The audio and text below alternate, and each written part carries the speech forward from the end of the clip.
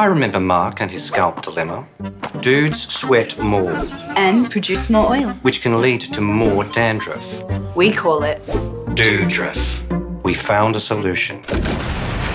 Head and Shoulders Ultramen. with activated carbon It removed up to 100% of his dudedruff. and brought his confidence back. Way back. Head and Shoulders Ultramen